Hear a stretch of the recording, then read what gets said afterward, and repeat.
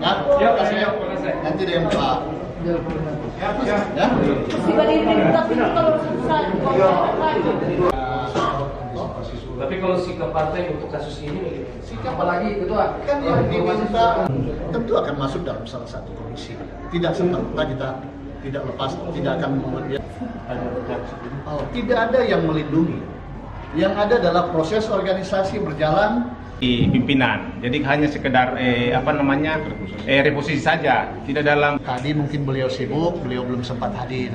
Nanti kita undang lagi. dengan partai sebagai wakil ketua DPR nanti Pak James Koyongan itu statusnya seperti apa nanti di DPR? Partai Golkar Sulawesi Utara tertanggal 6 Maret 2023 menang serta kemenangan menang. partai. Ini kan demi kemenangan partai, partai menilai ada hal-hal yang perlu dikedepankan, maka terkait Nah. Dipecat dari partai, tentunya ada dasar kenapa memecat eh, Pak James satu Koyomian terkait dengan berita yang viral belakangan ini, kami sejak jauh hari sudah sudah melakukan kajian organisasi.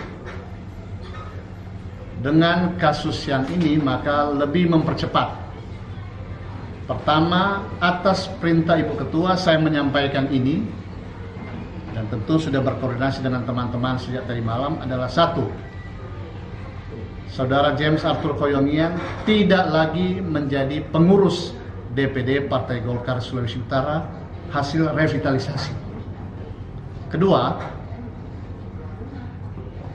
soal perubahan atau reposisi AKD yang bersangkutan dalam waktu sebentar lagi kita, kita akan menyurat ke DPRD Provinsi Sulawesi Utara menarik yang bersangkutan dari pimpinan DPRD Sulawesi Utara.